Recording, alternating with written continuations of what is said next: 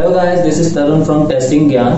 If you are in software industry, I'm sure you must have heard of the term API or Application Programming Interface.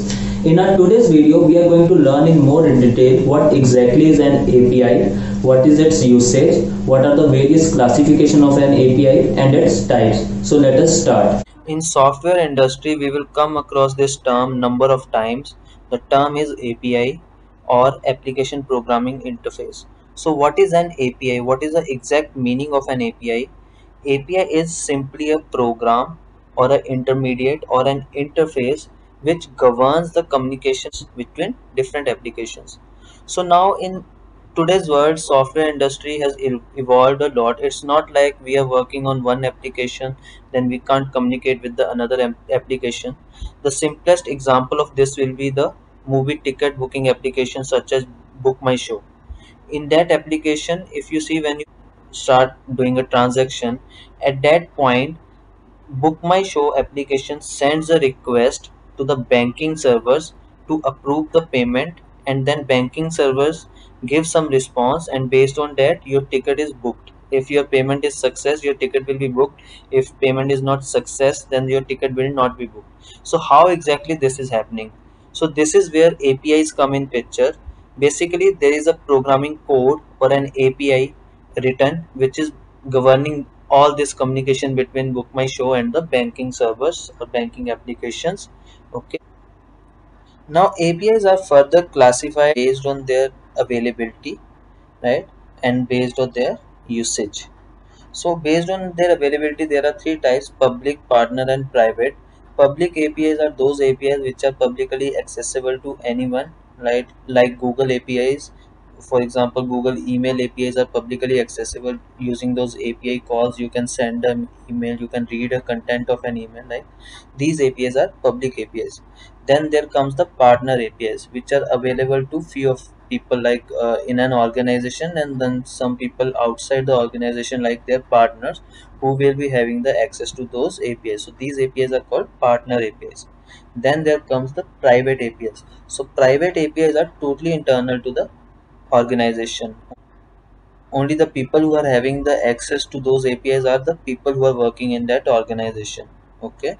So these are private apis then comes the apis based on the usage. For example database apis these are the apis which helps the communication between the application and the database management system or dbms then the os apis which helps the communication between the application and the operating system resources. Then there comes the api remote apis these apis basically helps the communication between different applications running on different machines right? Remote machines basically. Then the fourth classification is web apis so these apis helps the communication between web based system.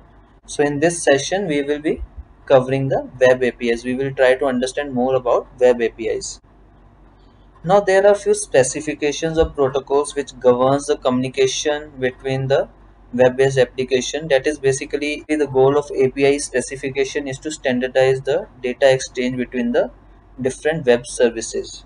Okay?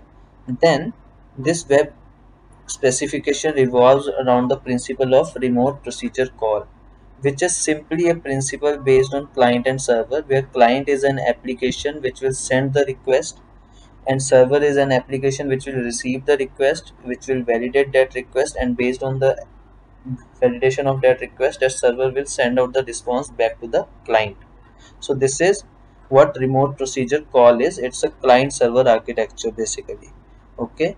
And web apis may adhere to resource exchange based on the remote procedure call okay now as we have understood how data exchange is happening between web applications between web apis basically it's via remote procedure call client server communication right now let us understand about very popular web services which are soap and rest SOAP stands for Simple Object Access Protocol and REST stands for Representational State Transfer.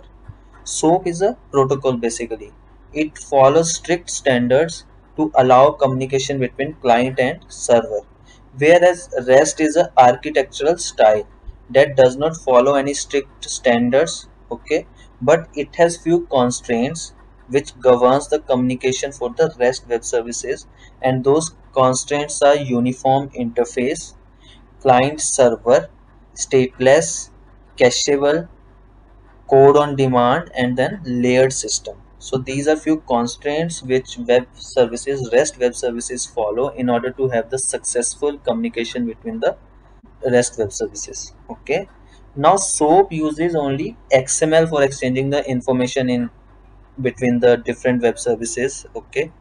Whereas in REST, it is not restricted till XML only. In case of REST APIs, we are having XML, JSON, plain text, right? So we can say REST APIs are more flexible in comparison to the SOAP APIs. And there's also one more advantage to REST APIs. REST APIs can use SOAP protocol, but SOAP cannot use REST. So this was all about the basic idea of the APIs and their types and then their specifications and rules around it. Okay.